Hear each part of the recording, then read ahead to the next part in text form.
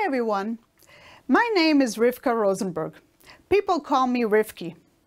Today I will teach you, sixth graders, a very interesting lesson. The lesson is called Color My World. Let's begin. What will we do today? We will learn important words and expressions. We will read a story and answer questions about it. We will discuss the moral of the story and we will write about the moral of the story.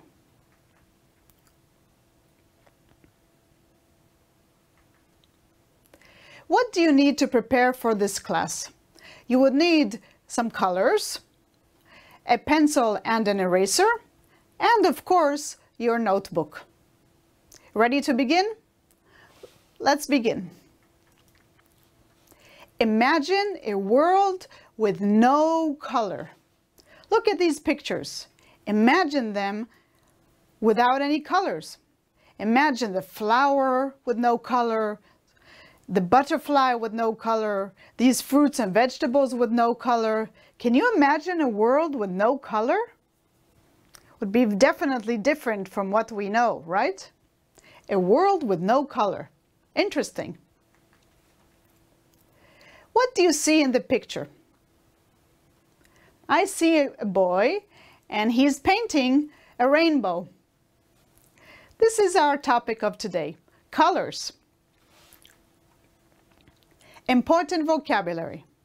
A delivery man, you see in the picture, this is a delivery man, and he has a package in his hand.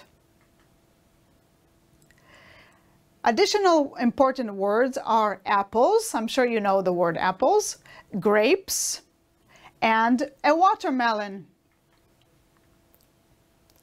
A few more important words.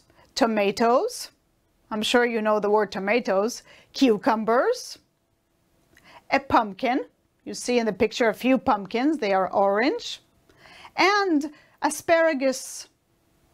I love asparagus. It's a very very yummy vegetable. Very important expression for us to know today before we start reading the story is in a hurry. In a hurry is fast, fast, fast to get somewhere or to do something. You see the man in the picture? He's in a hurry to probably to get to work. I was in a, in a hurry this morning to get to the studio to teach you. In a hurry.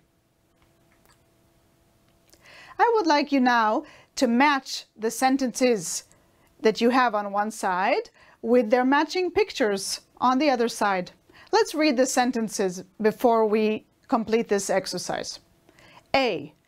Eh, the delivery man has a package for you. B. Tomatoes are red. C. Cucumbers are green. D. The woman is in a hurry to go to work.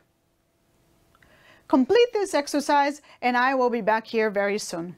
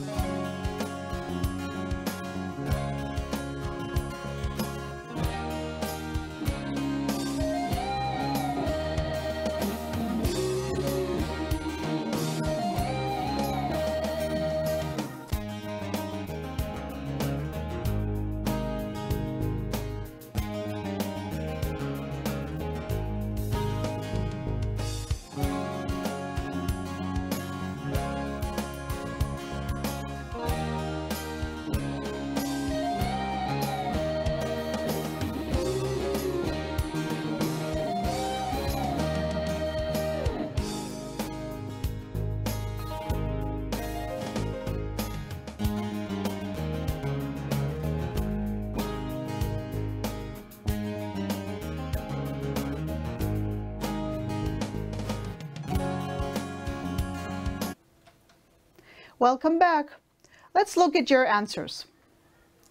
The delivery man has a package for you.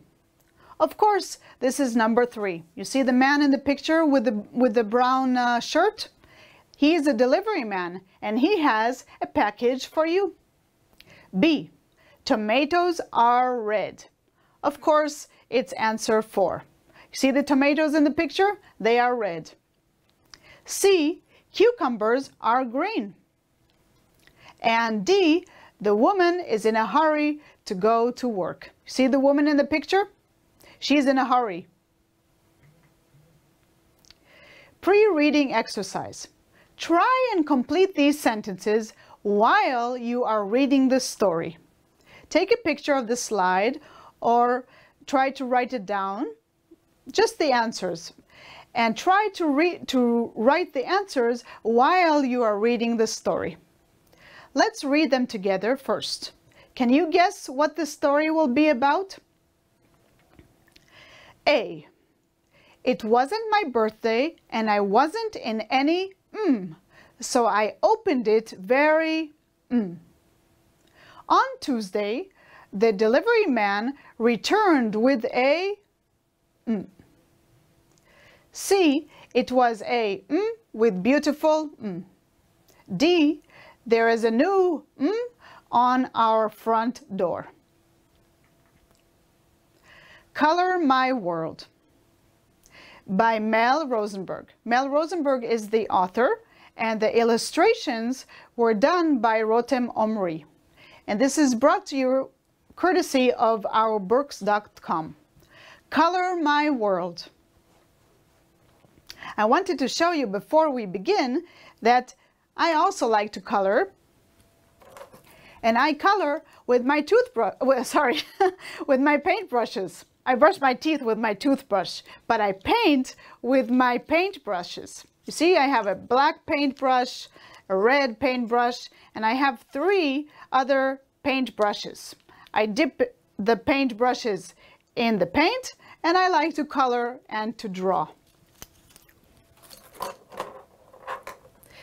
So today we will talk about the story Color My World.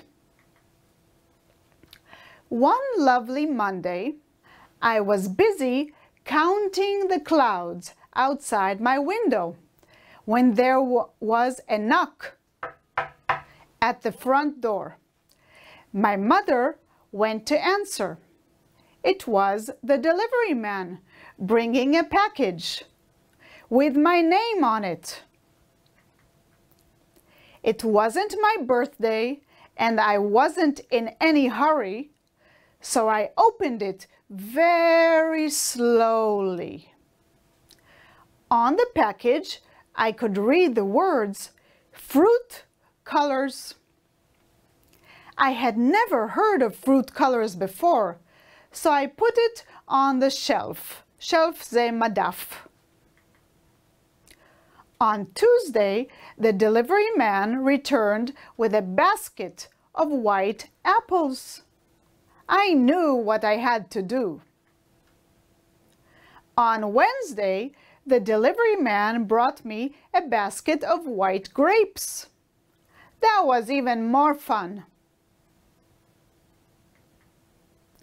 I was not surprised when Thursday rolled around and the delivery man brought a case of white watermelons. I was so happy. I waited on Friday for the delivery man. What fruit will he bring me today? I thought to myself. Instead, he brought me another package. It wasn't my birthday and I wasn't in any hurry, so I opened it very slowly. It was a package of vegetable colors. During the following week, I colored tomatoes, cucumbers, asparagus, and even pumpkins.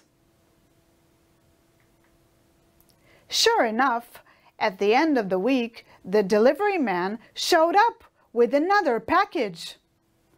It wasn't my birthday and I wasn't in any hurry, so I opened it very slowly.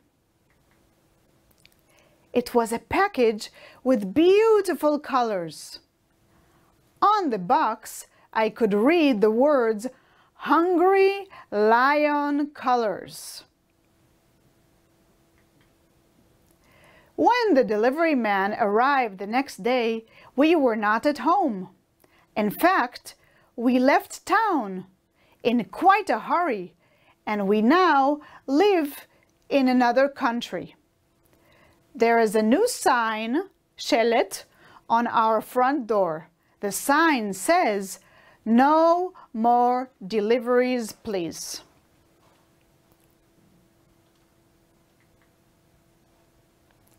Did you um, manage to complete the sentences? Let's see the answers. Try to complete the answers and I will review your answers when we get back.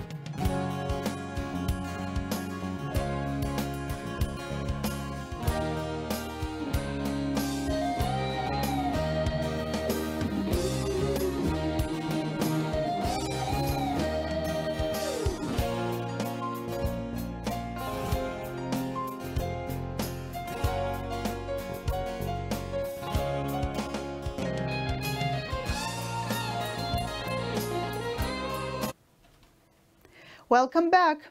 Let's review your answers. A.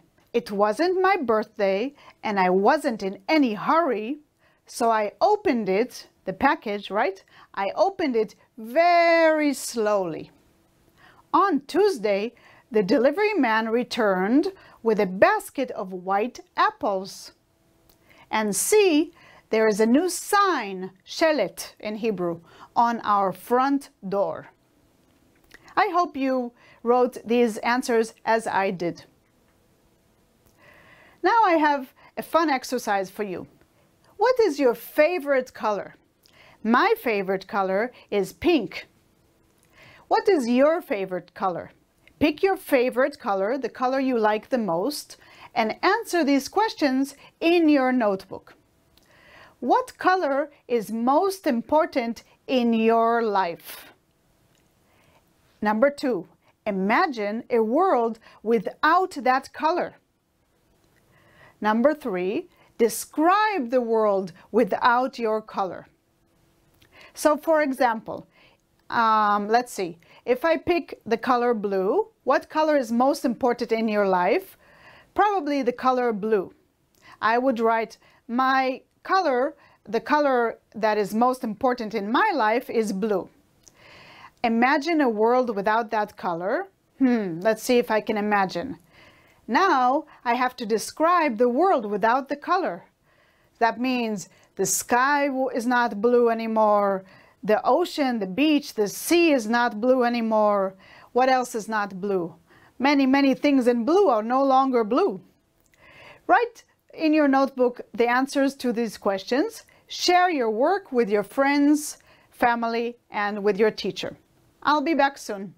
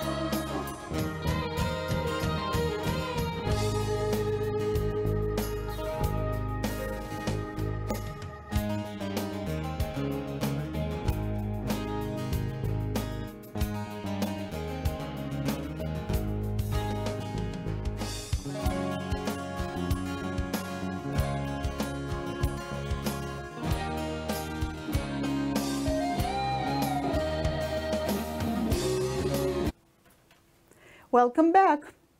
What did you answer for these questions? What color is most important in your life? Could you imagine a world without that color?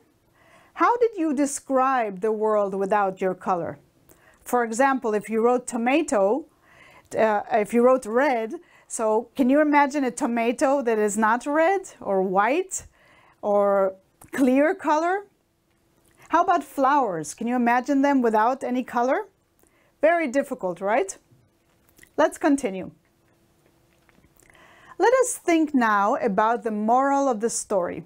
What does it mean, the moral? What does the moral means? The moral of the story is supposed to teach you, the reader, to be a better person.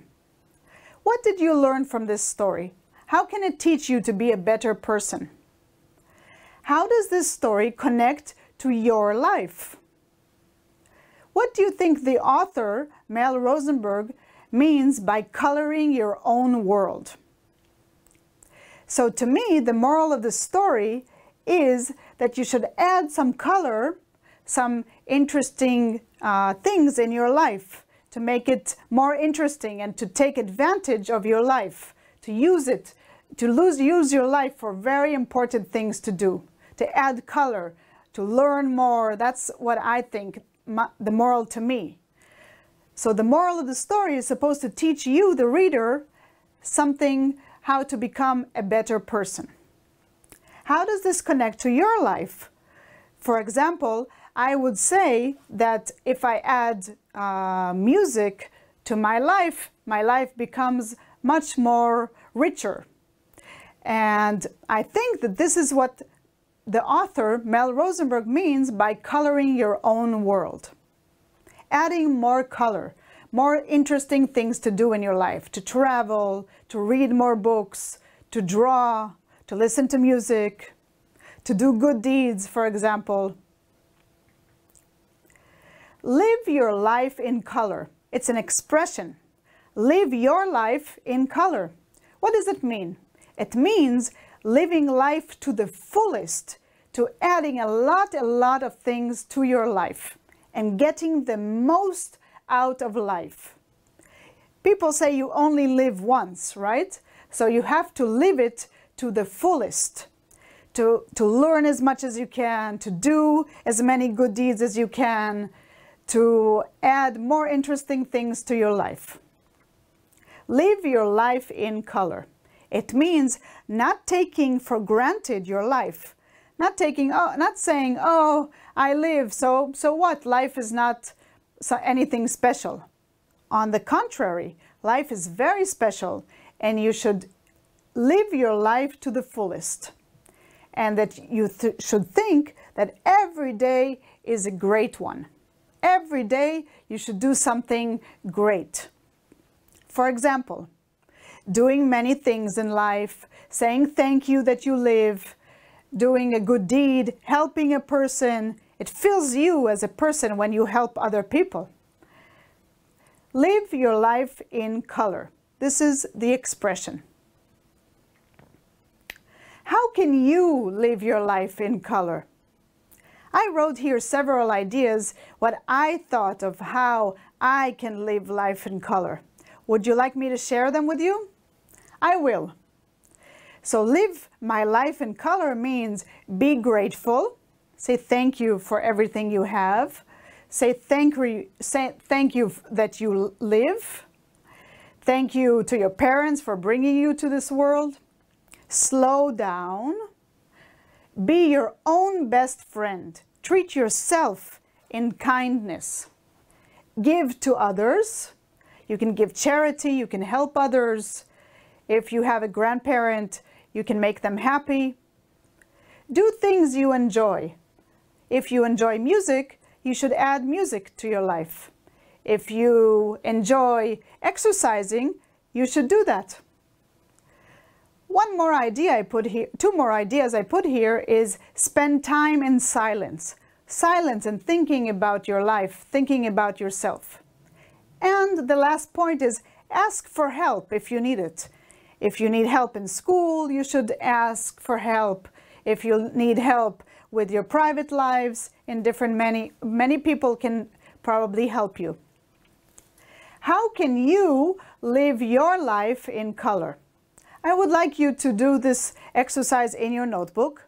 How can you add color to your life? Give your own two examples. My example was I can wear colorful clothes.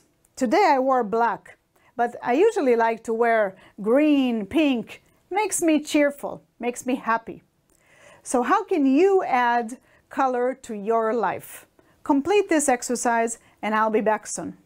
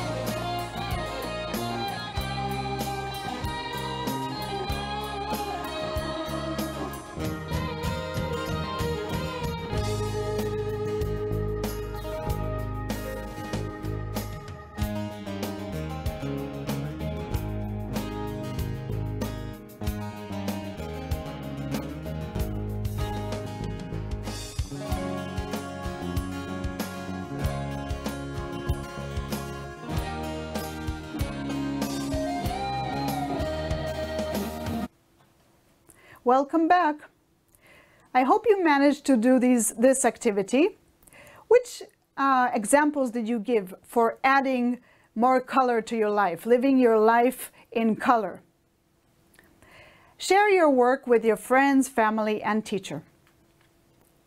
Now at the end of the lesson, you can read and write new words, for example, delivery man, package. You can read and write new expressions, for example, in a hurry, or to live life in color. There is the word color missing there, to live life in color. You can read a story. You can reflect on the moral of the story. And you can write about the moral of the story. I hope you have enjoyed my lesson today. My name is Rivka Rosenberg, and I hope to see you soon. Goodbye.